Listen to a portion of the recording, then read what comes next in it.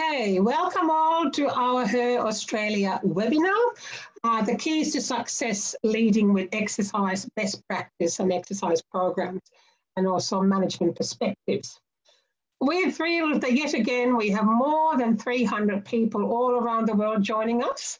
We're really covering the whole globe from the North, um, um, what do you call it, the Arctic Circle to New Zealand and South Africa and all the countries in the middle. So it's a really, really nice group of people here. So good afternoon to Australia and Singapore. Good morning, Finland, and good day to all the other time zones we have present at the moment. In the spirit of reconciliation, HUR Australia acknowledges the traditional custodians of country throughout Australia and their connection to land, sea and community. We pay our respect to their elders, past and present, and extend that respect to all Aboriginal and Torres Strait Islander peoples today. My name is Tore Karahari Husman. I am from HUR Australia and I will be your MC today. Now, while our last webinar really focused on health and wellness during COVID and how you can um, stay healthy at home, today we really want to look further ahead um, and think we're trying to give you the best advice on how you should return to normality. And North, South Australia is already there. Well done, you. Um, so we're really trying to give you the best advice on how to train properly and how to not just to exercise prescription programs, but also how to manage, how you innovate, how you create programs that work for everyone in both residential and community care and also retirement villages. So we've invited four speakers from different areas and they have decades of experience and we're so thrilled that they've joined us. And uh, today our speakers will be first Jennie Hewitt, Dr. Jennie Hewitt from University of Sydney, talking about residential health, followed by Dr. Justin Keogh from uh, Bond University to talk about community health, and then Paul Johnson from BallyCara, who's going to talk about the business opportunity, and finally Jo Boylan from Southern Cross Care talking about service innovation. Before we move on, um, just a bit of the house rules. So just in case, well, you had a bit less time to read the slides, apologies for that. It is the technical hitches happen all the time and we didn't just laugh about them and move on. So you had a few minutes to read, not sure if you made it. However, during the webinar, all your microphones will be muted and your videos disabled. Um, but the one, there's one important task for you. In the bottom of your screen, you will have the Q&A button, and that is your biggest role. So listen to our speakers and ask your questions. So all the speakers will have 15 minutes of speaking time, followed by five minutes of questions. It is not a large amount of time. However, type in your questions. We will answer what we can, but the rest we will type down. The speakers might be typing during the webinar, but also we can pass around the questions after and they will have plenty of time to answer and we'll post them then on the website one important thing, there's a little thumbs up button. So if you can see a question that someone else has asked and you think that's an awesome question, please press the thumbs up button because then that means that there's many, many people like that. So if we get 10 thumbs ups, that means that's a really hot question and we will make sure we'll answer that. Now, um, also, if you hear this funky bell, I will show you what it is. It's just a little Christmas bell. I know it's not Christmas, but the squeaky toy I had last time didn't work. So this little bell sound is for our speakers. If they have too much to say, I want to tell them to whoopee, thumbs up. So that's just for them. So don't get scared about my Christmas bell. And also, so we really covering the whole globe, and it's midnight somewhere. Um, so, and some people might be working with their patients. So we will record this webinar. So at the end of the webinar, we'll be posting on our website um, the all the slides, the recording of this, and also all the Q and A's. So there's plenty of information in case you need to rush somewhere in the, at the moment. Now, it is time for the drum roll as we are about to present our first presenter. So Dr. Jennie Hewitt from Sydney University has a talk titled Exercise in Residential Care, Practical Tips on Success Factors from the Sunbeam Program and Beyond. Now, Jennie is a practicing physiotherapist and educator and also an academic researcher with many national and international awards. Um, delivering best practice to her clients, but also really leading research that tries to inform the healthcare policy. So, for example, the Sunbeam study she did has gone to all our politicians because she looked at 221 residential care residents with an average age of 87, and yet with her exercise program, they reduced force by 55%. And also, in case you have been watching, the Royal Commission into Aged Care Quality and Safety. You would have seen Jennie a few weeks ago really talking about the allied health um, importance in, in residential aged care. So without further ado, please welcome Jennie Hewitt and Jennie, you'll have your 15 minutes. Thank you. Thank you, Tura. I'll just bring up my, um, my PowerPoint slides to share. There we are in business. Thanks very much, um, Tura and uh, HUR uh, Australia for inviting me to talk to you today. Um, I'm talking about the thing that's closest to my heart, and that is residential aged care setting. Um, I think it's important for not to not just present the research, but to present the pr practical tips. So I'm hoping that that's what this talk will deliver, and I really welcome any questions you might have as we go go through. So the Sunbeam program that Tura was referring to um, started because about 10 years ago I started working in residential aged care as a physiotherapist. I was really disillusioned with the, uh, the funding mechanism in Australia which funds physiotherapists, exercise physiologists and occupational therapists and no other allied health uh, and only to, to deliver TENS or uh, uh, other electrical agents or uh, massage therapy, when really there's so much more we could do. Things have changed a bit in the last few years, but that was the initial driver um, for this work that I'm presenting to you today. So I thought it was really important um, to have a look and see what evidence there was there to challenge and say, surely we could be funding other things as well as those things. Uh, and at that time, uh, which was around 2012, there just wasn't much evidence. So had to make a choice then, either if I'm disillusioned with the system, either leave it or uh, stay in and try to do something useful to help um, improve the system. And so that led to a, cl a cluster randomized control trial, which I'll talk to you about in a minute. And then once the results came through, it was time to present the results to people who could make decisions about changing the policies. So exercise in residential aged care, back when I first started looking all of this, there were there was only one Cochrane review out initially, and that was the one in 2010.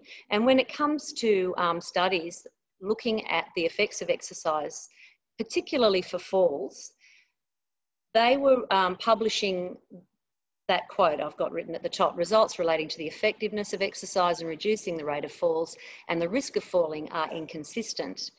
And what was most uh, disturbing at that time was that this whole ripple effect. And so if there are, is not good evidence for a particular type of treatment, then policymakers will often discard or abandon um, funding the particular intervention. Um, that's if they've looked at the evidence. So what we really, what I really expected to find was that there was going to be evidence saying we should be exercising residents of aged care, and I couldn't find much, if any, and certainly not from the gold standard Cochrane review. So we all know because we're in the business of exercise, but policymakers don't necessarily know this and they need to hear it from, from those of us who are working in the field. Exercise, one type of exercise does not equal the next type of exercise. In the same way as one type of medication does not answer for all kinds of medication. So I sometimes use the example, if a person had was diagnosed with diabetes, would we give them a Panadol and then be surprised that, their that their blood um, sugar levels didn't change. Of course not, because it wasn't the, the right medication. In the same way, just giving somebody any, any old kind of exercise is not necessarily going to have the right um, benefit for the person, but that doesn't mean all exercise is out. So I had to have a bit of a look more closely. And this, I know this is an old study, but because this, is, this was the basis for the Sunbeam trial. The best evidence at the time I started all of this came from this Cochrane review, where they looked at supervised exercise versus usual care. There was only a few studies, as you can see, not a whole lot of work. But what happens in a Cochrane review, and it, and it is a very um, well respected way of, of uh, judging the effectiveness of an intervention, what happens is they look at all the available studies on exercise versus usual care, and then they pool the results. So anything that falls, the results that fall to the left side of the line favours the interventions, the results that fall to the right side of the line favours usual care, and you pool it all together so that you end up with what is effectively one big study with a lot more statistical power. So you can see there's some helped, some didn't, and the net effect was that black diamond that says we don't know. And then I had a light bulb moment. we know that exercise type, dosage, and frequency all matter. What if every study that they looked at there was using the wrong type and dose of exercise? So that meant that I had to look and see what was documented at that time as the best evidence, the best types of exercise for falls prevention.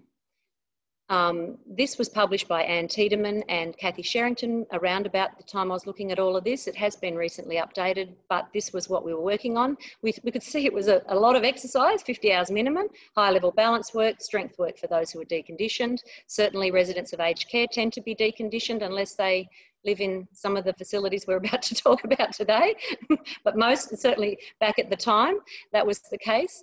Uh, you have to in individually upgrade and progress exercises. So I was working in residential care and seeing lots of people basically sitting around in a circle, sometimes doing a DVD, sometimes doing exercises that have been prescribed um, by the activities team, but certainly not individually upgraded and progressed. And um, things like high, high level balance work were being omitted because of the risk associated. A lot of um, facilities at the time were taking the um, safe approach and just having everybody sitting. Um, at, it was acknowledged at that time that walking, while it might be beneficial for other things, was not considered a falls prevention program. And that makes sense too, I think. I thought I was guilty in the beginning of thinking surely any exercise is better than sitting in a chair, but this, um, this sort of woke me up to the reality. So I went back to those studies and found that none of them, not one, implemented the best practice, the key components of, um, of best practice falls prevention exercise. And hence the Sunbeam program was born. Um, it was a, a, cluster randomised control trial. We had 16 residential aged care villages on the east coast of Australia. Eight of the, them were randomised to receive uh, the resistance and balance training program. The other eight got usual care. And we car carried on the program implementing those best practice um, guidelines that were available at the time. As Stuart said, the mean age was about 87. Um, people had been in resi care for a couple of years as the median, but it ranged um, you know, even right up to 10 years for one of them, which, which is unusual in this day and age, but it was present then. There was a lot of fallers, more fallers actually, and more falls in the people that were randomised to the intervention group. Group. So if I was a betting woman, I would have put my money on that being a real problem for the trial, um, but we just had to work with it. This is what the uh, intervention looked like. Are you seeing the video? Yes. So we used HUR equipment for the progressive resistance training part of the, um, of the program. And while people were able to um, and attend initially for an assessment where we checked their baseline. Do you like the exercise boots, otherwise known as wetsuit booties? but people were um, prescribed individually their own program, as you can see here. The smart cards put in, we've individually allocated resistance, sets and repetitions, falling within two to three sets of 10 to 15 repetitions at a moderate, perceived moderate level. While people were sitting down doing the resistance, I could then run a separate group, or the volunteers could run a separate group of high challenge balance exercises. So we could do these classes in groups of 10. I'll just give you a little note that the oldest person in this group is 101 and not once ever attended the exercise sessions until the cameras arrived. But anyway, I digress. There was static balance, dynamic balance, reaching out of the base of support. And while this group's doing this work over on the other um, half of the room, people were doing their own individually um, prescribed progressive resistance training. It's another um, example of how that worked in a different facility. Apologies for the poor quality of this um, video. This one was done on my phone. But you can see we really, when we were talking high challenge balance, I did mean high challenge balance. So this is the grapevine, which is a challenge, of course, to cognition as well as motor control. and again. See, high challenge balance exercise is not for the faint-hearted.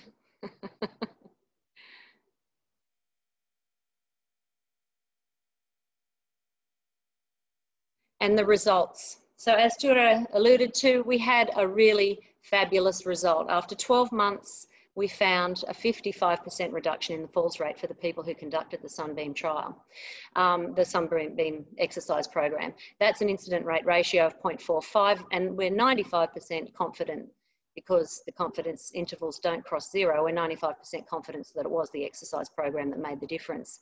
There was also a statistically significant improvement in physical performance, which was measured using the short physical performance battery. And excite, most exciting to me was that there was no adverse events given the age and frailty of the, of the um, clients or the participants. So the take home messages are here. Um, this was group sessions 10 per class. The staff to resident ratio was one to five, and we could do that because the smart card system allows each person to have their own exercises individually um, prescribed and upgraded and recorded. Um, and so we didn't have to have a whole lot of people there adjusting weights and pins and plates and so on. We did two one hour classes a week for 25 weeks. That's the dosage, two to three sets of 10 to 15 reps. And that's the equipment we used. Um, all exercises were individually upgraded and progressed by the physio attending once a fortnight and doing that for everybody for the first six months of the program. And after that, people just stayed on a maintenance program. We had to look at the cost effectiveness as well if we really wanted to make policymakers listen. And so a cost effectiveness analysis was performed and we found it cost $463 to, per person to deliver the program and that included both the cost of purchasing the gym and the personnel costs. And a lot of that had to do with the fact that the initial setup costs, so you incur quite heavy costs perhaps in year one when you're purchasing the gym and setting it all up, but over time, because there's 10 year warranty on it, um, over time those costs are filtered down. Um, the incremental cost effectiveness ratio was $22 per fall avoided. And the modelled saving to our health economy was 120 million. So it doesn't obviously then have to tell people about this, no point in doing it um, and publishing it, but then not actually taking it to the people who need, need to make the changes. So we did publish the RCT and the cost effectiveness paper and then shared the findings with, that's the top photo is me talking um, to, with the health minister, uh, sorry, no, the um, Minister for Aged Care in the panel there. There were some stories on the news. Um, it was disseminated um, abroad as well. And there was a bit of excitement initially when we discovered that the revised ACFI, aged care funding, was recommending that there was a new therapy program which also funded uh, exercise as part of the therapies that were recommended. Uh, and this is a photo of me, no, not really, doing a cartwheel when I read it. However, this is how I landed. Uh, soon after, there was a change of federal minister for aged care. Uh, the focus went off the revised ACFI and onto a different uh, uh recommended approach called RUCS, Resource Use Classification Study. That's not too bad for us um, as allied health professionals because it does give us a bit more flexibility in terms of what we can prescribe. It's not, it's not sort of mandated for us. Um, but I was more interested in the Royal Commission into Aged Care because my learning from all of this is that you need to go, if you can, somewhere where people are um, out of the politics and it's just going to be the residents at the focus um, for the recommendations. And so I was really um, fortunate a couple of weeks ago to be able to talk to the commissioners um, about um, the recommendations for changing the way that um, allied health is funded in residential aged care and they've made a whole lot of really quite exciting recommendations, which will be um, focusing on changes being implemented by July 2022. The other thing that's been a bit of a win is that now best practice, so Professor Stephen Lord is sort of well, well um, recognised internationally as the guru in falls prevention, and he now um, gives gold bar evidence for what is recommended for falls prevention in residential aged care and physiotherapy-based exercise um, has that one gold bar means that there's one good study to, um, to recommend that it is a worthwhile um, intervention. So here's your gold nuggets. the muscle groups included in the Sunbeam program included knee flexors and extensors, hip extensors, abductors and adductors. We did tricep dips to help people getting up off the chair and flexors to balance that out. Uh, shoulder retractors because of posture, but we did that mostly in standing, so it became a balance exercise. Calf races also, that became a balance exercise. Things were done where people spoke about 12 to 14 out of 20 on the Borg scale. So we didn't do a 1RM uh, because we were fearful of um, damaging people in the assessment process. So therefore we used that. If the gym's closed, uh, you can try and replicate it. This is some of my students doing hip abduction, adduction, and a leg press using TheraBand, or if people are at home and can't get into the gym. We haven't researched that, but that's how we've been, um, we've been trying to um, you know, co uh, combat the fact that some of our gyms have been closed. The balance exercises were these. There was lots of standing work, heel raises, dynamic balance that you saw, static balance, and reaching outside the base of support. Have you rung the bell, Ture? Yes, I have. I even forgot. I didn't hear it. Sorry. All right, to whip along then, balance with flair. Balance is boring, let's face it. People, uh, my finding is that people seem to be happy to keep coming to the gym for as long as it's there, uh, but they get bored with those balance exercises. So the students and I have been working on a bit of uh, balance with personality, which has included boxing, Nerf guns, shooting at targets. Here's dancing. Uh, the fellow in the middle there is standing on a foam pad in a parallel bars and we're playing beer, pong. um, we've got uh, football table there on the top right. You can see the fellow's gotten up out of his electric chair to do that. so the, tr the trick, of course, is finding balance work that people are interested in doing. But we have been able to continue with the, um, the training equipment that's my last slide. Um, I'd really, none of this work would have happened without the amazing support of this team of, um, of academic, uh, academics and friends who uh, supervised me throughout. So um, thank you for listening. Thank you, Jennie, and you're spot on. Spot on. Even if my, I tried to ring the bell like a man, but obviously it didn't come through. That's all right. We have one question for you. Um, yes. And I have more in my mind, so let's see if I prompt others. Oh, no, there's two. Um, uh, question, just wondering how the one and a half, 1.2 hours a week was Oh, example, was calculated? A week or how was it? Yes, it's so what we did when, when we found that the, the falls prevention um, effect had, was 55%. We then went back through our attendance records to have a look and see how many hours did you actually have to attend to still um, get gain the benefit of a 55% reduction.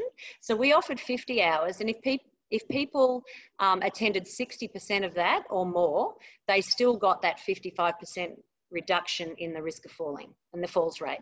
So what we were then able to do is say we, you didn't really have to do two full hours, even though that's what we offered. Even if you did 72 minutes, 1.2 hours, you still got that same effect when it started to fall below that 60% attendance rate, uh, the, the um, benefit was less as well. Fantastic. Now we've got a thumbs up also, just people thanking you for oh. wonderful tips, which is wonderful. I think it's, it is so true because you, I, I, love it how you put the, everything into practice and, and, advising others. Now I have a few questions. I'll see how many have time to answer. Okay. Um, I'm curious to see how did you measure the play, uh, the baseline and what were your progressions and what was sort of the maximum increase you had with these people? So you mean the baseline for the first exercise? Yeah. So if how, strength, how did you measure it, and what was the? So we we did have a printout of the Borg scale there, um, not to 20, 1 to 20, um, and we got people to to sit on the um, on each piece of equipment and try uh, up to 15 repetitions it is true it took a bit of clinical experience to decide what weight to start with. Um, but we ended up making a generic program which was quite easy um, and saving it on a card with the name Elvis. and so Elvis was the, the first program, and it was a reasonably easy, low level for each person. And so they'd come into the gym, they'd start with a low level of resistance for each exercise for the first set, just so we could correct technique, tell them what, what, it was about. Then we'd give them a rest and we'd get them to do another set based on how they performed at the first one by hitting the plus button and finding out how heavy we needed to make it before they got to that perceived moderate intensity on the Borg scale. Then that became their starting weight for the next visit. So the first one was a bit of a, a, a hit and miss, trial and error, and then from the second visit on, um, they had their own individual weights. And after you got that, what was the, can you tell the progressions and how, what was the percentage? How much did they increase in strength about? Yeah, so we didn't, even though you do have the, the functionality of increasing it um, by a certain percent each time, for this trial, what we did was we started with two sets of 10 for most of our participants. Then when they could do three sets of 10 and then we build them up to three sets of 15. And once that was to, was dropping below um, like that was too easy on the Borg scale, then we increased the weights.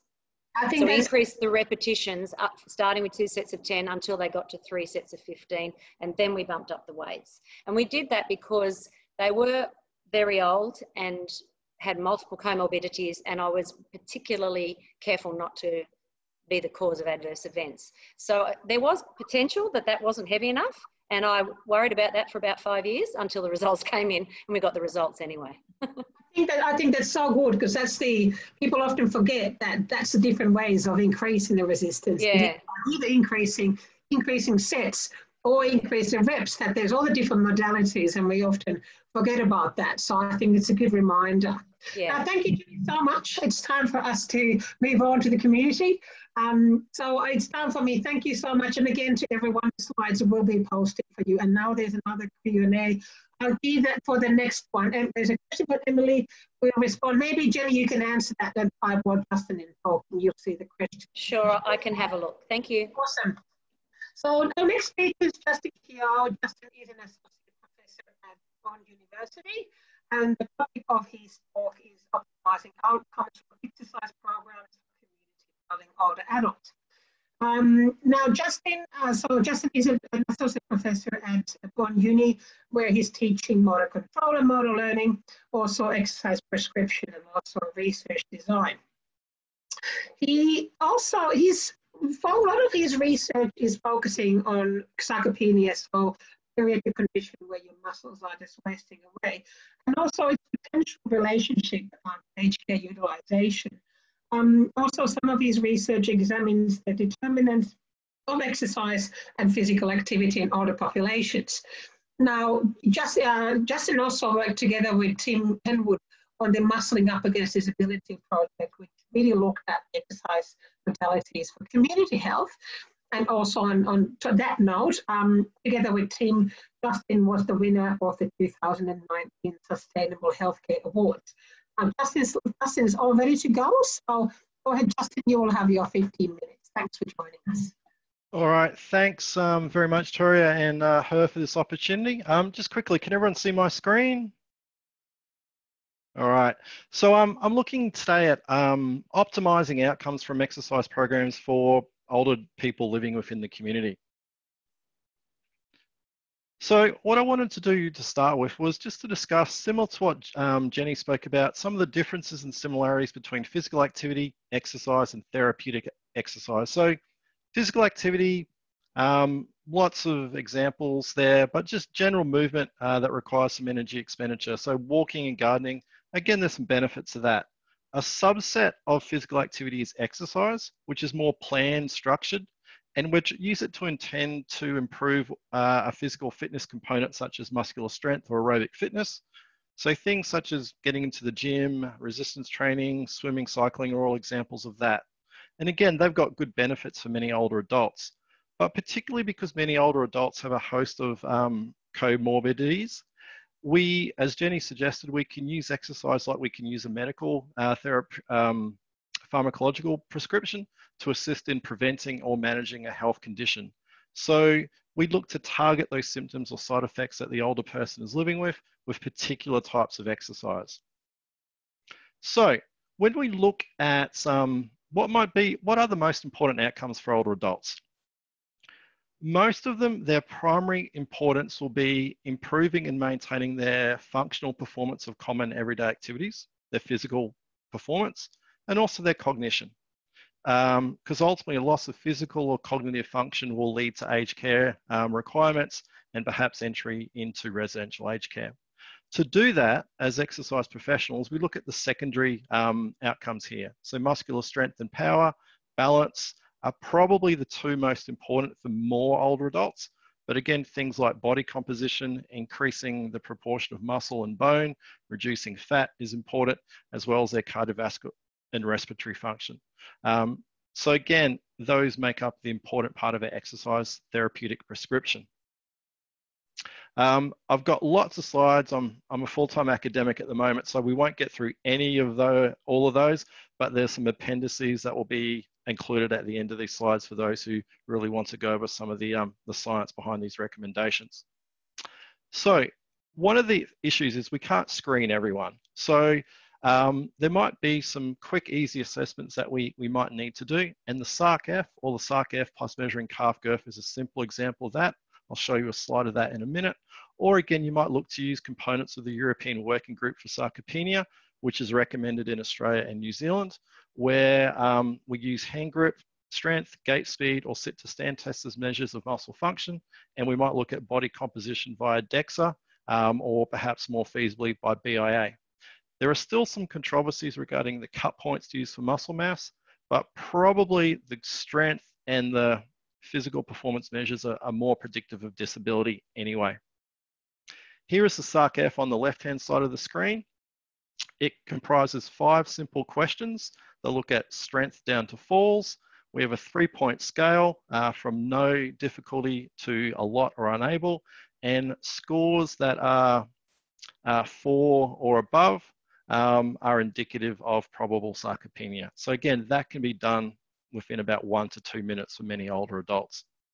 Uh, one of my PhD students, Samantha Thien, who graduated a few years ago, uh, her PhD focused on, on walking ability, and she came up with this flowchart um, to assist healthcare professionals and older people uh, understand what their risks are in terms of, um, oh, sorry, their recommended approach where 0.8 meters per second is the sarcopenic threshold for low gait speed.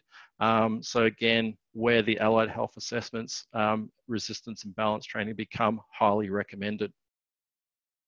So we'll now talk about the Muscling Up Against Disability study, which was funded uh, by the Department of Social Services. Uh, here is a, a snapshot of the, the, study protocol. Lots of details on there, but very similar to what Jennie uh, conducted. 24 week exercise program for two hours per week, so 48 hours of training in total, using the HUR equipment. Again, very similar exercises to what she utilized. Three sets of 8 to 12 repetitions, um, a range of balance exercises, predominantly static and some dynamic, um, and the resistance was increased um, throughout the 24 weeks to maintain that level of intensity after a four week sort of familiarization um, period where the um, participants were eased into the program. And all of these sessions were supervised by accredited exercise physiologists um, at the Burnie Brae Centre uh, in Brisbane. Here are a few publications from the study at the moment, and we're still looking on a few extras as well. Uh, the top one there is the report that we um, submitted back to the government a few years ago. I'll just go through a couple of the, the primary um, important results. What we really wanted to do with this trial was not just to show that it's effective in improving function and strength, etc., but to show that progressive resistance and balance training can work in the community and it can actually be cost effective uh, and that many older adults will actually um, take up the opportunity. So um, let's just have a look at some of the results. So uh, we had high uptake within the program, something like 256 older individuals accessing home and community care were involved. And the, probably the most interesting uh, values here were, when we look at the cost, um, the program did cost over $1,800 uh, per participant if we provided them free travel with a, a minibus. But for those who are able to get to the centre on their own, the costs were only $303. So what that meant was uh, for those participants who could get there without um, incurring costs onto the centre, it was 99% uh, likely to be cost effective. And these costs, even the $1,800 with the full travel um, provided, when we look at that to the UK, it might still be a good investment. What we have on the right hand side here is um, Individuals in the dark grey bars were those who've been defined as muscle uh, weakness. So for men, less than 26 kilograms of hand grip strength and less than 16 for women. Um, and ultimately, what that represented to the UK healthcare system was an extra 2,707 pounds per person per year who was below that level of strength. So that's a huge cost to the healthcare system that can be easily addressed by uh, progressive resistance training. So some things that we've learnt from this trial and, and other sort of projects we've been involved with. Um, progressive resistance and balance training are often the two key forms of therapeutic exercise, but progressive is the, the biggest thing there. It needs to be progressed.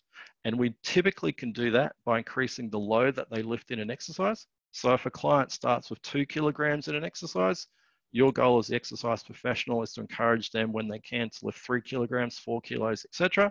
And when we look at exercise for balance, and again, Jennie mentioned some of the challenges in doing it, um, we need to move from static to dynamic, make things a bit more fun. Large to small bases of support, perhaps raise their center of gravity by lifting their arms over their head, and also doing some pro or reactive balance exercises. So things that are functional involving stepping up and down and dual tasks again to increase that cognition. Um, more information is provided in Appendix B. Uh, in particular, there's a meta-analysis that was published five years ago, similar to what Jennie spoke about, and increasing strength, uh, there are some of the key prescription variables where the effect is maximized. Two sessions per week, two to three sets per exercise, seven to nine repetitions using loads in the 70% of one rep max. Um, six second repetition, so two to three seconds up, three to four seconds on the way down, and about one minute rest. Um, similar recommendations for muscle mass, but uh, one extra training session per week and slightly longer rest periods and reduced loads. Supervision by exercise experts, be it an exercise physiologist or a physiotherapist initially is vital, at least for the first few months, to get the older person comfortable in the gym, good technique, etc. Within our project, we might have benefited from some more dynamic and pro or reactive balance exercises, that functional stepping. Um, and again, Jennie looked like she had some great options there. And again, these can be progressed by carrying different loads, similar to carrying shopping bags, perhaps in one hand or two hands.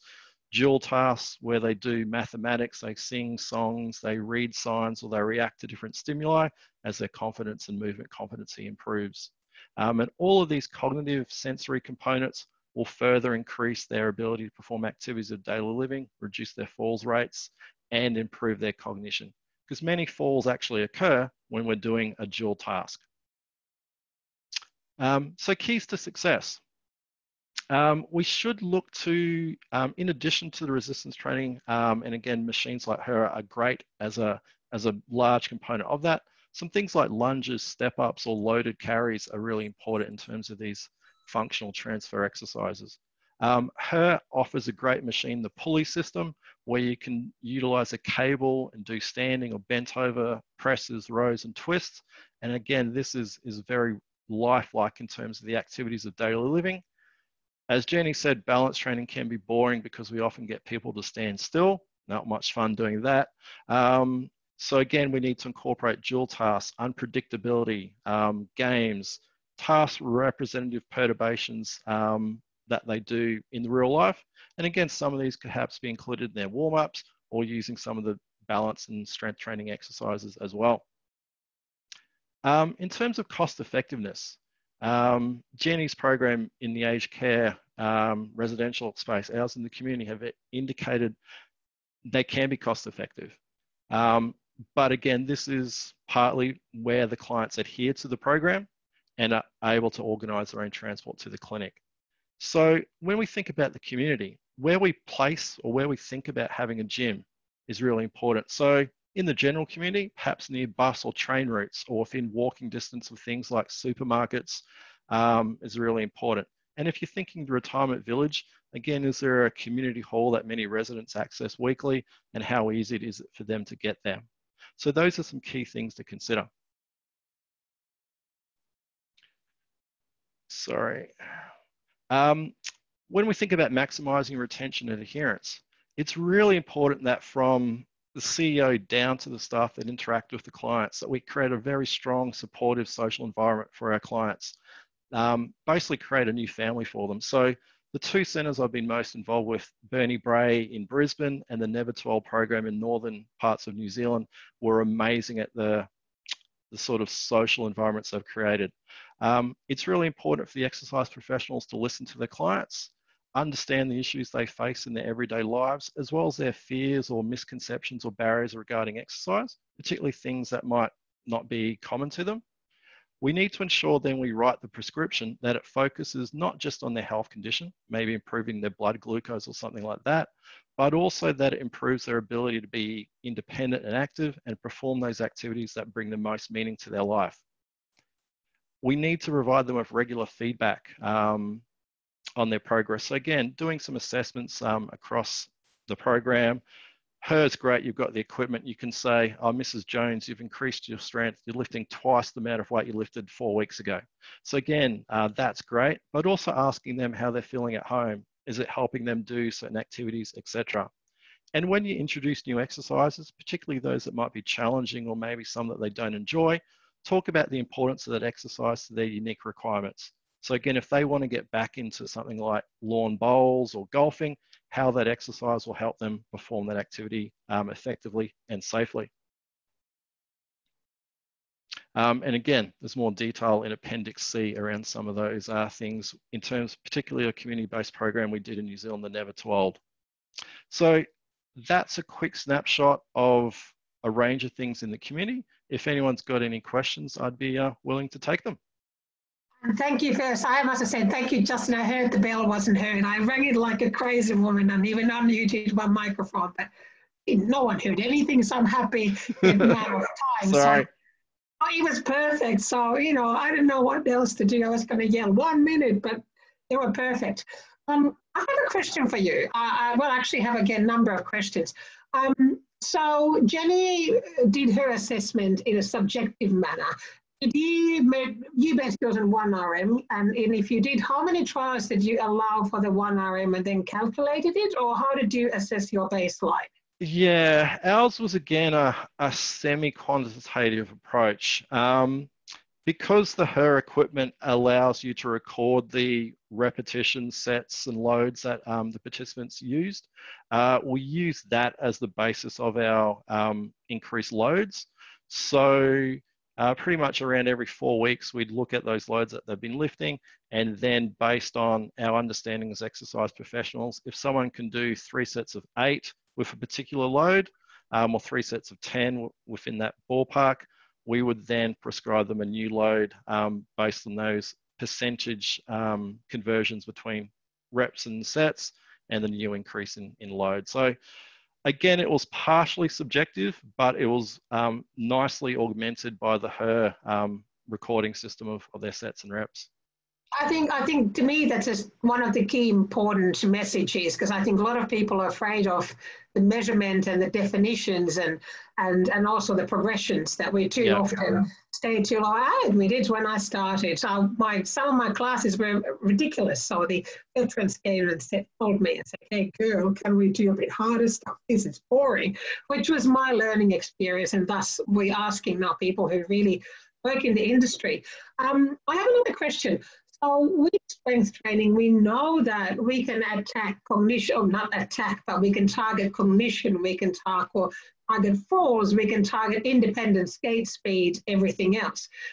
Do you think one sort of cookbook solution is enough, or is there ways of targeting particular areas, such for example, if you work with a dementia group or if you work in a post-stroke group, how would you adjust? Is there a way of adjusting it, or how would you do it?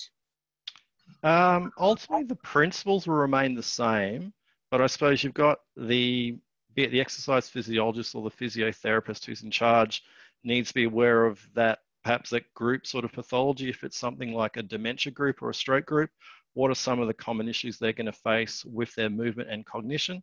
Um, so the baseline, I suppose, program in terms of its difficulty will differ to perhaps some of the individuals that are accessing Burnie Brae or uh, Never Too Old um, in the community as an example.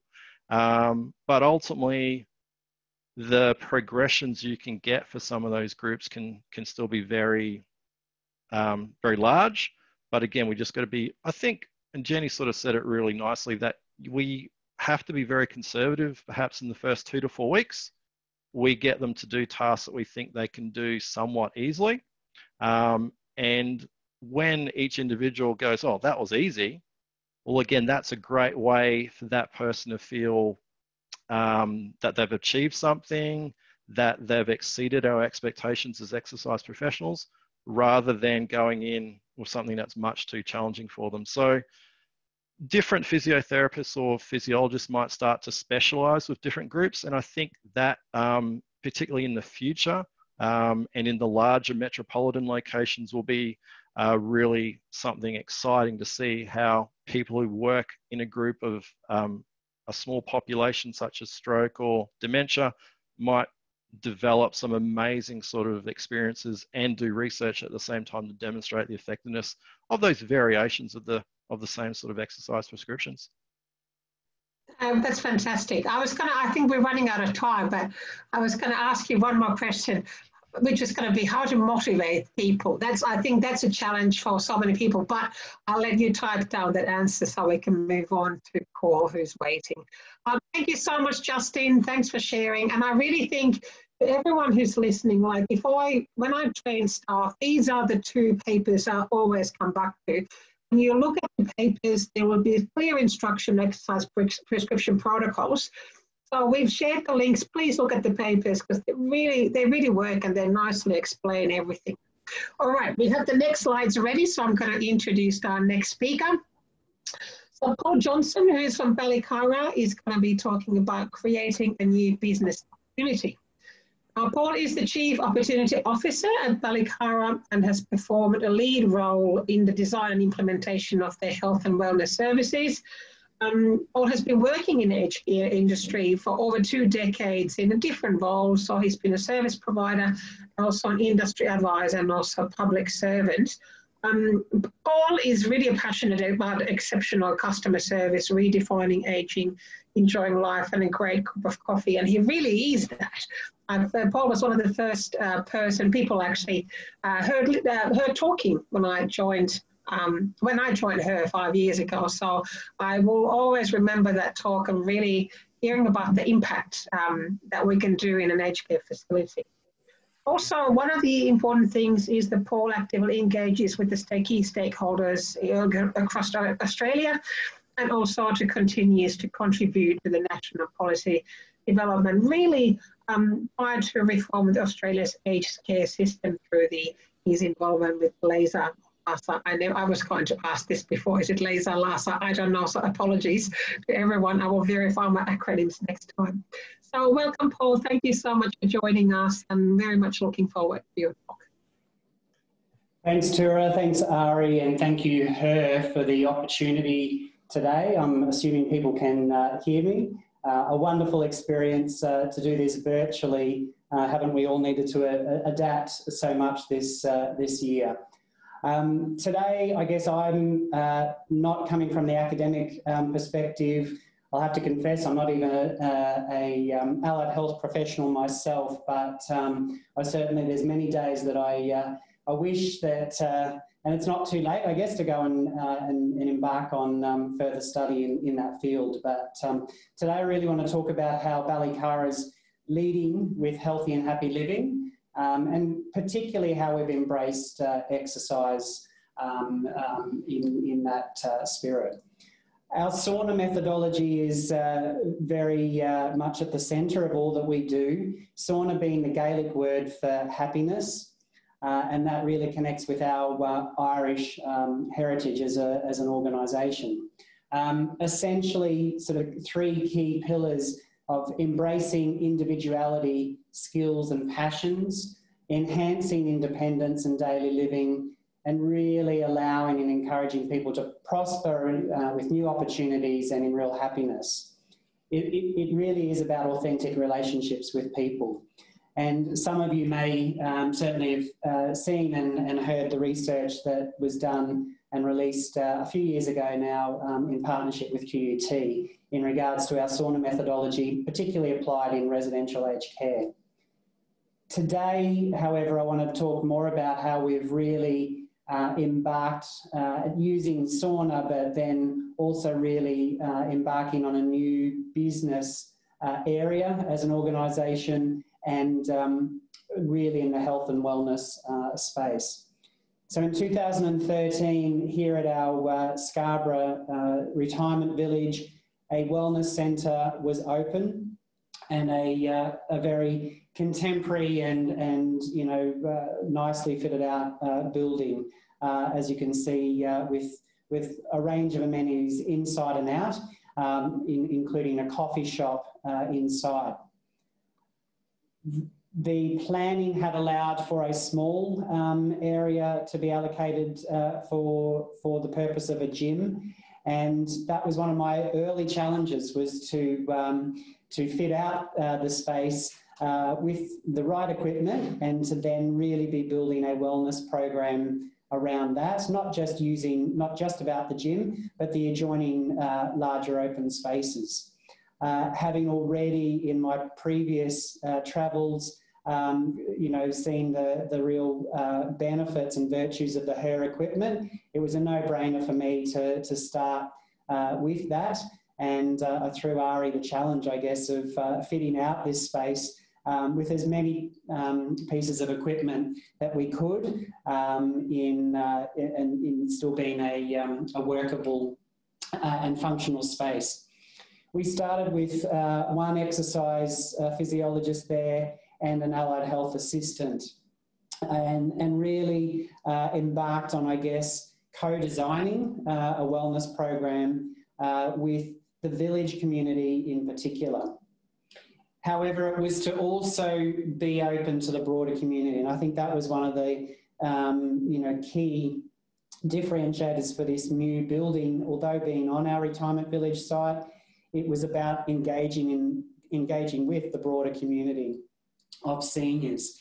Uh, we obviously had to balance the um, the expectations of village residents uh, in in doing that as well. But um, from day one, I guess we we uh, made you know we're, we're, clear in our communication and in our um, engagement with them. Uh, we developed membership model with tiers. We thought um, you know were, would be very enticing. Importantly, we tested those models with focus groups from within the village, and I guess heard some really key messages that um, that you know required us to adjust our thinking and expectations. People wanted it to be affordable. They certainly wanted it to be flexible, noting that they may uh, be you know likely to be holidaying away, be, fall ill, and maybe you know um, in hospital at times. They didn't want to be locked into something ongoing week upon week. They wanted more fluidity in, in how they engage with it. They certainly welcomed variety. It wasn't just about um, gym and gym equipment. Um, they wanted group-based activities and, and a holistic focus. So we officially launched in, uh, in October 2014. You can see one of the early programs there. And, and I guess, um, you know, we, like other organisations, sort of sought to bring that uh, variety uh, across the week and things, some things we didn't deliver ourselves. We certainly partnered with other um, professionals to do that. Uh, one of the things that I guess we really called out from day one was the state of art, uh, state of the art um, uh, equipment that we had invested um, in, the HUR equipment, and certainly some new words in my vocabulary, including pneumatic air resistance, uh, needed to flow off the tongue. Um, one of our early challenges back to HUR and Ari was give us some Australian uh, images to help with our um, sell to um, our local clientele.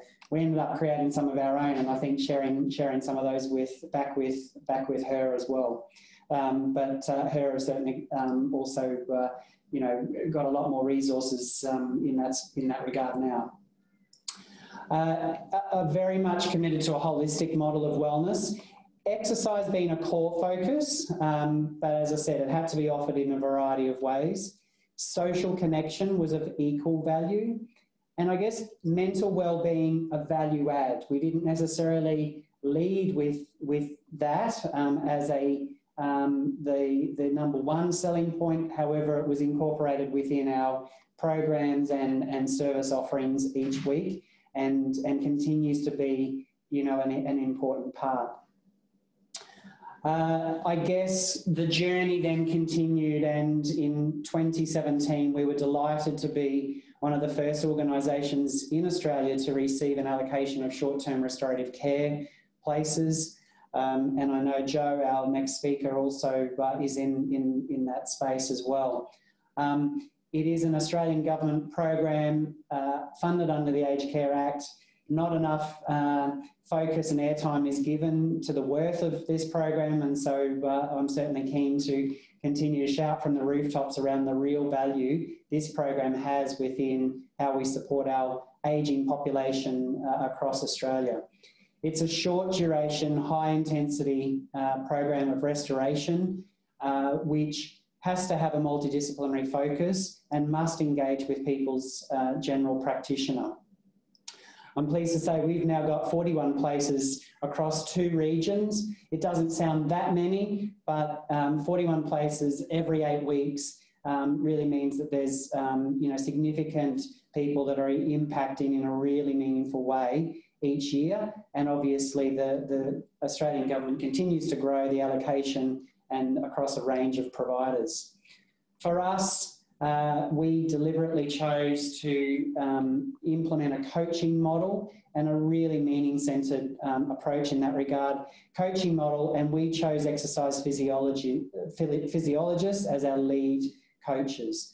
I'd have to say, and I can, and you know, certainly continue to um, uh, spread their wares. Exercise physiologists for us have been one of the key um, ingredients in um, successfully implementing um, exercise and health and wellness uh, offerings.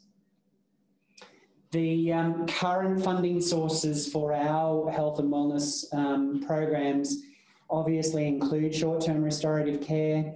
We link into the Commonwealth Home Support Program where we can. Home care packages, also private health insurance, Medicare, the Department of Veteran Affairs, even local governments, um, you know, uh, through some of their subsidised um, exercise programs and grants, and of course, user pays. So I think you know a key message too is about considering all of those options, and it's an area where you just have to, and you and you have the flexibility to reach out to as many different funding sources as you can to make, make it a really viable um, part of your business. Uh, for us, we see it as a continued strategic growth. Um, you can see here in southeast Queensland and even down to, to northern New South Wales now. It doesn't mean that we have uh, a village in each of those locations or a wellness centre to the same um, standard as, as what I showed you earlier at Scarborough, but it means we are seeing the opportunity to engage in those local communities.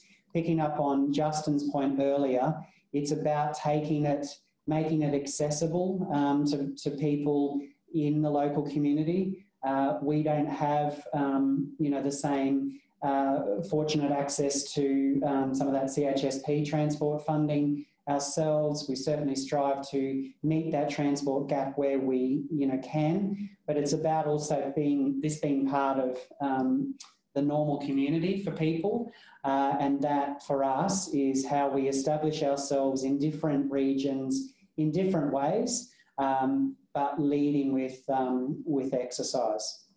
Five minutes. Heard that. Thanks, Drew. Um, we haven't stopped there. I guess we, we also now, you know, further in that community engagement space. Uh, we're delighted to be the active ageing partner with Netball Queensland and particularly sponsoring their walking netball initiative um, to really tap into another area of uh, life and for those people that have had an interest and, and a real passion in sport throughout their life um, and want to continue to do that in a modified way. We've sponsored local fun runs and, and uh, the jetty to jetty on the Redcliffe Peninsula there, as you can see, and also being open to research. Um, uh, haven't had the fortune of working with uh, Jennie or Justin at this point, but um, you know certainly other opportunities that have come along to us, including um, the Healthy Beat Acupunch initiative, um, which has recently been, um, been published. Um, and we're keen to, um, you know, trial a, a, broader rollout of, of that.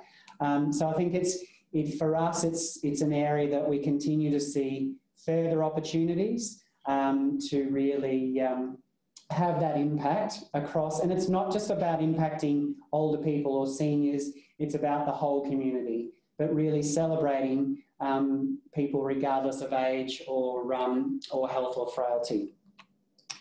So uh, in, in closing, Tura, you'll be pleased to know my keys to success uh, certainly invest in the right exercise equipment, and I'd have to say HUR is, is worth, very much worth the investment for um, many of the reasons that Justin um, already, you know, uh, talked about.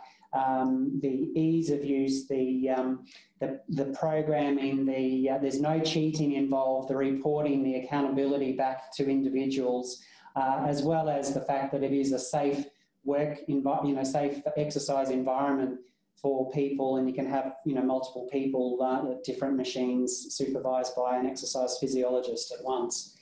Uh, certainly invest in suitable space and location. Uh, the importance of being accessible and visible, as, as visible as possible.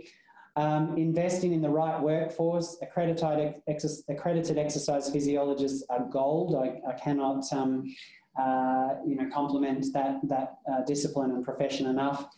And, and finally, I guess, invest in your brand uh, and, uh, and the customer experience.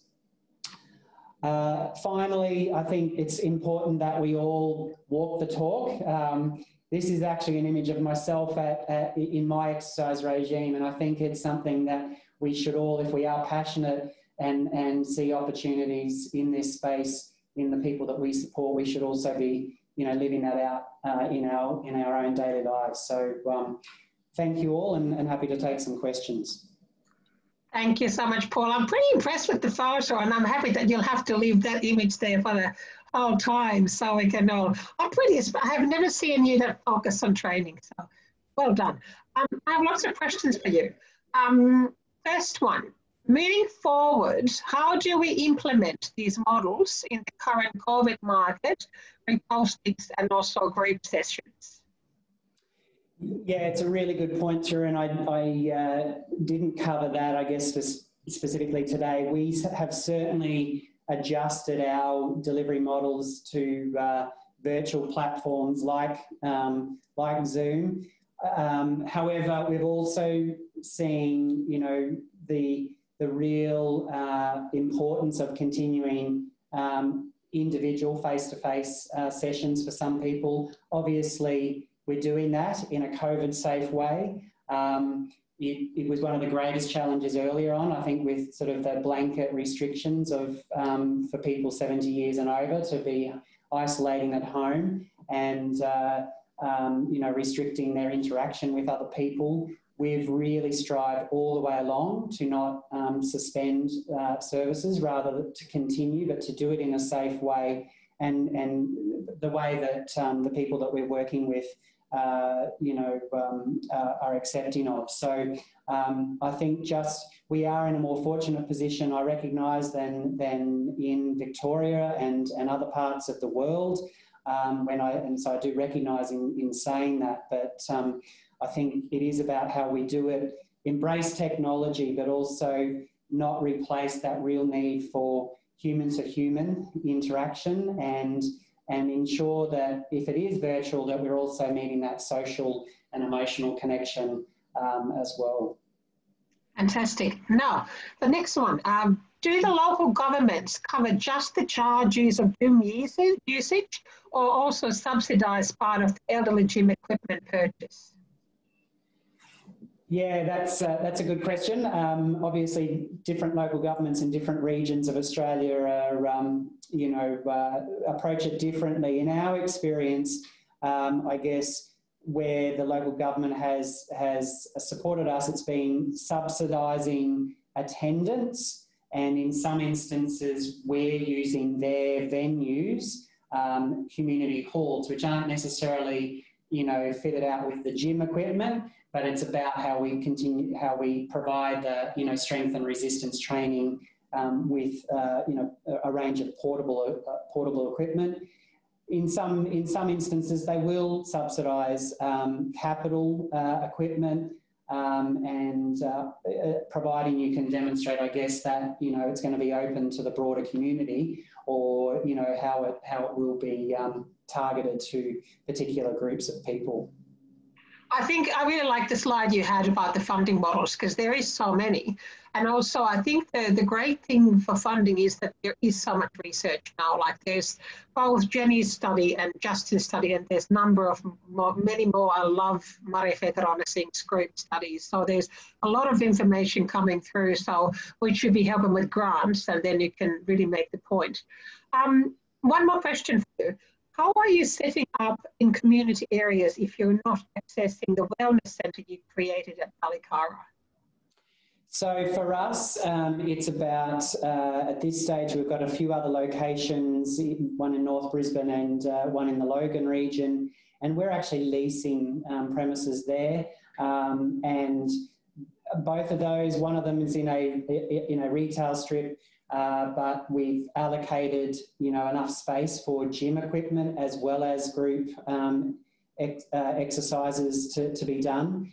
Our latest offering in, in North Brisbane um, has just opened, and we're really fortunate to have a space that's big enough that's got a separate designated gym space, and then um, the uh, the open spaces for um, uh, for group exercise and, and, and hiring out. And I think that's the important thing that in, in some of these cases, we can't do, we can't achieve our vision totally on our own. It's about how we also work with other like organisations who might want to be subtenants or, or work, you know, utilise some of our spaces with us. Um, uh, in uh, in that community engagement space. So um, you know other providers that are also um, keen to be using the equipment um, or, um, or using some spaces for, um, for their activities.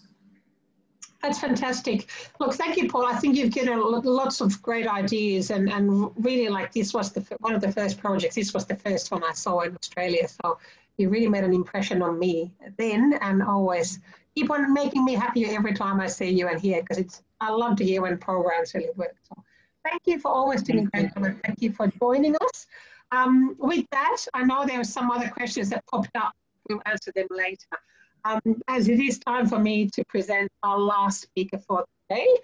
So our next speaker is Jo Boylan, um, who is the Executive of Services at Southern Cross Care.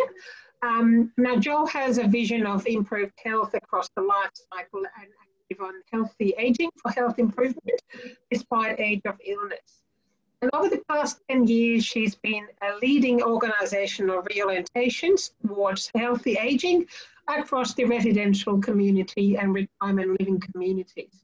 With her operational team, Jo has led the implementation of over 25 gyms in residential home, homes, and her health ageing achievements include development and implementation of healthy ageing models.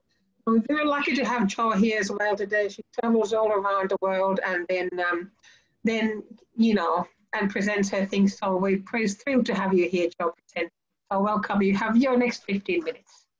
Thank you very much. Everyone, yes. Fantastic. Off we go. Well, I could sit back and listen all day um, to Justin and Jennie and Paul. I've been very inspired, and I think we're very lucky to um, have such amazing uh, talent in uh, Australia who uh, push this very, very important topic, particularly for our uh, aged people. Uh, so I've got a slide here of Rodney. So Rodney came to us when he was about 86. He had a stroke. He uh, was really depressed because um, he had lost uh, movement in one side of his body, and all he wanted to do was to stop using his frame and to be able to walk without an aid. And he was so, so committed and so passionate uh, about exercising that he came every day. And within six weeks, Rodney was walking without a frame. So I'm just going to give you a bit of an oversight today, uh, explaining our large scale health promotion approach at Southern Cross Care in South Australia, uh, Northern Territory and Victoria. And our whole of organisation changed, the whole, the whole organisation changed our approach. Uh, and in particular, I'll give you results around what has happened in residential aged care. And in residential aged care, we are funded just like everyone else with the ACFI. So this is uh, our new model, our new Better for Life model. And you can see very clearly my areas of um, direct leadership is around uh, our services, which you can see we've made a, an absolute commitment to health promotion. Uh, we see health promotion as our core business. So in that, we take on that very proactive approach. So we have a, an extensive amount of allied health in um, our homes, um, three times as much. Uh, we have EPs and we have personal trainers as well. There's a gym uh, in every one of our aged care homes with HUR equipment, uh, not all HUR equipment, but lots of it. And we have a very integrated approach to health and well-being. We believe that you need all of the disciplines to help a person, not just one discipline. So it's very holistic. We look at uh, what is important to the person and we try very hard uh, from understanding what's important to them and joining them up with um, health and well-being. So it's a, it is a contemporary approach. We always try and bring best practice into everything that we do. And of course, we have to be person-centered um, and passionate to be able to do that. So why has Southern Cross Care focused on health promotion and making healthy normal rather than decline normal? We've done this because it's, we believe it's a human right uh, that everyone has access to the products and services that improve their life. And for many, many years, um, traditional aged care homes have not really had that access to uh, the people and the goods and equipment that will help reverse frailty, often the reason that brings them into aged care. So we've gone about, as, I, as I've said, we've got uh, 17 homes and we've gone about putting gyms in, into each of those homes. Um, I'll tell you a little bit about those gyms. So the, we've got a, a set amount of uh, equipment and the types of equipment, so we've standardized it. We've put in uh, full-time hours into all of those gyms, mostly full-time hours, depending on the size of the um, home, so that there's always someone in the gym to receive the person and to help them um, uh, exercise safely. So we have between four and six people in a gym at a time, um, and the focus is on improving people's resistance and their balance. So this is just a little bit of uh, where we're thinking. Uh, we're, we're very influenced and informed by the World Health Organization's focus on uh, goal three, the sustainable goals, which is about improving good health and well-being of everyone. So also our staff um, can access our gyms at all of the sites and in the community, uh, which really gives them a free, free membership. Uh, so that's a wonderful thing. So in our work day to day, we uh, are focused on helping people reduce that fitness gap and keeping them above the disability threshold and helping them reach their potential and of course preventing disability.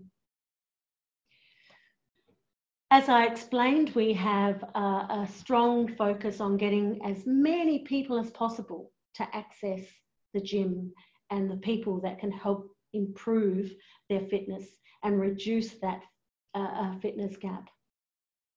So as you can see, on a large scale, um, how we're doing, and it gives you uh, an idea that it can be done. Sometimes you can you start around the 40%, but it gives you an idea of um, how how you can actually monitor uh, everyone who's participating in the gym and those that are not. And you can see we've got a fairly high level of uh, engagement in tailored exercises. That's people going to the gym.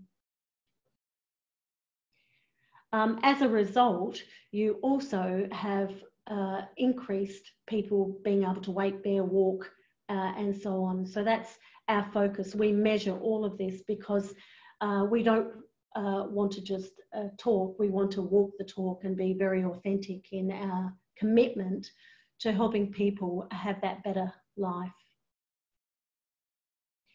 So our focus is on helping people uh, maintain their function as much as we can because we know that when people are, are able to walk, they're able to get in and out of a car, that uh, enables them to do the things that they love and, and what's important to them.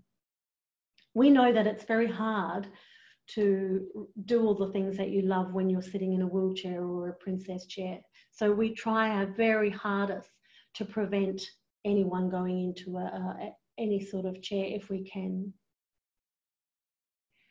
To do this um, large scale strategy that I'm talking about, this commitment, um, having health promotion as core business across the whole organisation, you have to really prepare and upskill your workforce and to really get them to understand how they can prevent those poor health outcomes, that they, that they are mostly preventable. And to also uh, increase the health literacy around the residents themselves uh, in residential and in community to help them be stronger as well, strengthen their abilities to thrive.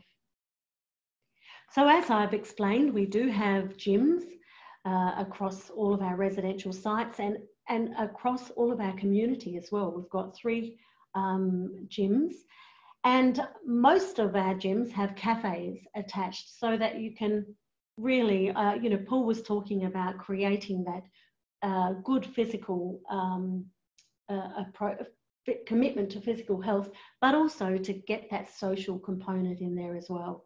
So you sort of makes up, going to the gym does make up for having that cake and coffee after. So uh, our exercise classes are tailored, uh, focused on resistance and balance. They're about 20 to 30 minutes long. We try to get our residents to come at least two to three times a week. They have personal trainers or EPs in um, all of the gyms, four to six residents. Um, and if people are a little bit resistant or reluctant to come to the gyms, we go to them in their rooms or we get a group of people together where we can do those sessions or we'll do the one-to-one. We also are very aware that walking is not enough. So this is a, a, a fantastic um, slide and I could just sit and talk about this slide for uh, half an hour because it's really working on keeping people above that disability threshold where they're not about to go into a princess chair or a, um, a, a, a, wheelchair, uh, so which is where that purple line is taking them. That's a trajectory into that sort of uh, aid. And to push them up above that line uh, along the green line and keep people um, still walking, still functional. Sometimes that green line is a one to two person assist. It's not always, particularly in residential, it's not always independence, but it's uh, a much more, um, they're still able to functionally get around with assistance. Our focus is on treating frailty with exercise and ensuring that we have really good supplements and good nutrition to fuel and energize the body. We have a, a to be able to do all of this, it's not just the gym uh, that we look at, we also have a multidisciplinary and interdisciplinary approach to early intervention.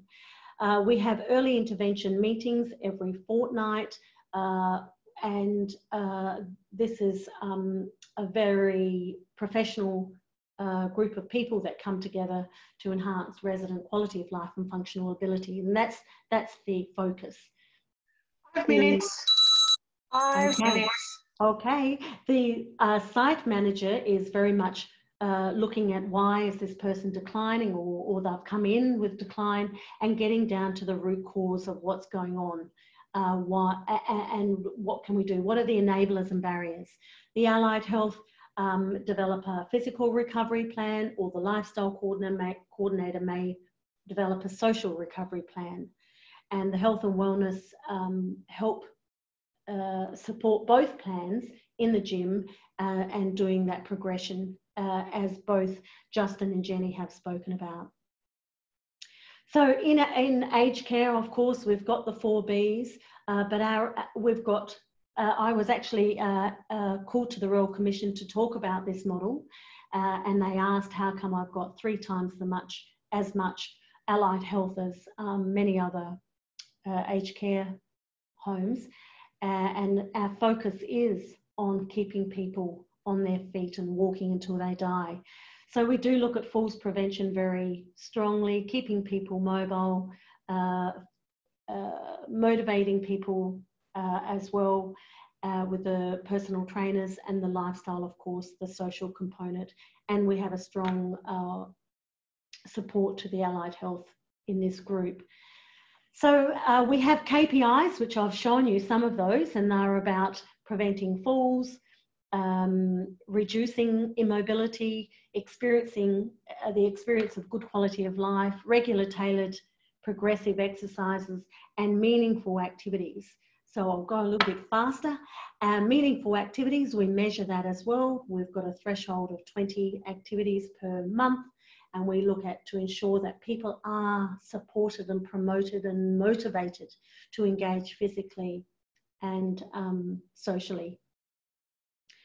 We also use the World Health Quality of Life BREF um, and we measure quality of life on admission and then six months thereafter. And we've been able to keep our quality of life up very high. And this, this was done just in July. Uh, uh, all of this data was done in July, and you can see it's very high even during uh, the pandemic, which is quite interesting, isn't it? Particularly when um, aged care has been uh, accused of locking people away. You can see that our people were at the gym and you can see the correlation between quality of life and people being able to walk. It's very important that people can keep walking, keep being functional so that they can get to that good quality of life. So it's very important for people to, for us in particular as health professionals to tap into what is important to the person. And then we can work together to, to work out what is important for them. But that what is important to them is fundamental. Uh, uh, accessing, um, assessing interventions that are effective, uh, which Jennie and both Justin have made that comment, and changing the interventions if they don't work, and continuously increasing the intensity and frequency. This just gives you an idea. We have person-centered software, and we're able to track uh, all interventions that are provided to every resident. And so this is a very easy tool for us to schedule exercise into um, residents' daily life. Uh, exercise, of course, that they want to be part of, and for ensuring that it is being done. Uh, and this is the beauty of that tool. So I'll leave you on this slide. Actually, one more slide. I have to talk about the uh, Age Well conference that is coming up online. It is free. If you go to Eventbrite and uh, register, it's for anyone on the 12th of October. And again, it's about exercise uh, and health and well-being in general for people living in the community, but also in aged care. Thank, Thank you. you. Thank you so much, Jo. That was fantastic. Absolutely loved it. Um, what actually impressed me. But I really like one of your favorite comments that you said was when you said that um, it's really about keeping, like the walking is not enough, but the fact that the exercise allows you to keep walking. And I think that's one of the messages that sometimes people don't don't think they um, forget that you need to exercise. That if you're not healthy, you can't go for a walk. But if you start you start at the basics and start at the 100 grams, start exercising just a little bit your goal is you can then get up and you keep on going and then trying to link the exercises that you do into the future and really the goal setting and motivation. Because I think that's that's one of the big things is uh, just the goal setting. They're oh, so, goal setting is so important. Yeah. So, so important. And if we can just get that little hook in, that little link in to what's important to them, they'll often say, oh, my family. And you can say, well, you know, tell me about your family. Oh, I like to visit them. And I would say, well, you, we need to get you stronger so that you can get in and out of the car so that you can go and visit your family. And so the focus becomes uh, strengthening the legs so that they can see the family. So it's always got a little hook in to what's important to them. It's, it's an appreciative inquiry concept. Yeah, and I like the fact that all of you have uh, mentioned the coffees and the cakes. I mean, that's also the thing is that you know, we exercise to be able to go there and, and eating. And I remember we were at the conference that Jo just mentioned, the Agewell one. We had last year, um, Nari, who was our speaker and the first one, was also giving a talk there. And we had this conversation that cake really is great because there's protein. And, and so we can then go have your exercise and then have your cake. It's okay. Unless, unless you understand unless you're in a very specific situation where you can't, but you can really combine exercise and wellness with joy. Um, now, one thing I actually had for you, my question, um, Jo, is the fact that you have community and resi, you really cover all the bases. Um, what are your key points? I mean, you gave really all the keys to everything, but what are your key points? And again, your goal, same thing as I said to Justin before, and actually all of you, there's the four speakers, if you all, want to take your mics off and, and really what are the keys of getting everybody exercising and, and what are the most important things? I mean, look, we all have older parents and, and we're trying to make them exercise and and look, even the Dutch dementia village, I remember hearing them talk, and it was really their key thing. How, what would I do to get a place for my parents? And I think that's often the driver. But really, all of you, now that I have you all with your mics on, what are the keys to success? How you would you summarize to make this all work in Resicare, in villages, in communities? Actually, I'll answer that if you like. um, only because I've I had to answer it at the Royal Commission because they said, well, you know, why can't other people adopt this model? And everyone can. Everyone can adopt a model of health promotion or a model of exercise, physical and social um, well-being. It can be done. It just requires um, really good design, um, project implementation, and being really committed to it. And you need everyone in the organisation committed to making it happen. Uh, you know, I'm extremely lucky because I've got a board and an executive that are very, very committed to this model. So, at a health promotion level, that whole of system is fundamental in taking it on. Anyone else want to add? I would say, um, in my experience, which has been um, almost all of it's been in residential care. It's linking, like you said, linking it to a real life example of how the exercise program might help a person with a personal goal. So if somebody really wants to be able to get in and out of the car, or they want to be able to uh, walk for the for their um, grandson's wedding or something like that, it's it's gold because then you've got the starting point. But even if there's not a particular goal, it's very rare to find people who don't see the benefit in um, being able to walk to and from their meals or get on and off the bus for activities. It, it's really just the way you talk to people about the fact, like Jo said, really everybody said this that um, today, that it needs to matter to the person. It's not a, we all know, everybody knows exercise is good, but when you make it person related to the person and their own individual goals, um, I think that's been the key from my experience to making uh, it really resonate with the with the individual and and them being at least prepared to give it a go. And then of course once they get there it needs to be fun. Mm. it can't be too serious. It needs to be fun. So and they need to feel that they they succeeded. If you make it too hard on day one then you lose them straight up. So there's a lot of that too i think and Tara, just to add, I think the, the other element which I'll go back and, and call out exercise physiologists again, what we have found in, in that workforce is a very youthful, um, very diverse um, group of, of practitioners um, that are actually uh, really, they enjoy that um, intergenerational connection with um, older people. But more importantly, older people really thrive on that sort of um, relationship, you know, uh, that they can establish with uh, young people that I guess we all strive in the aged care industry um, to, you know, continue to attract um, that, uh, that younger cohort and the diversity of, of talent um, to, to be supporting, you know, older people. So um, I think it is, it's upon all of us to, to really be this groundswell movement, to sort of be doing more of this. And as great as walking is, it's not the it's not the only answer as as has already been said. And I think that's a bit of my concern coming out of COVID that people will say, well, I'm, I'm walking, I walk, you know, each day, but it's, it's the strength and resistance training, the balance training for those people that are still living, you know, uh, at home or even within residential care. You know, we've got to we've got to keep pushing it back to government, and it's it's great that there has Jennie and Jo have you know had those opportunities with the Royal Commission um, directly because we've got to we've got to get you know the mindset changed at all levels.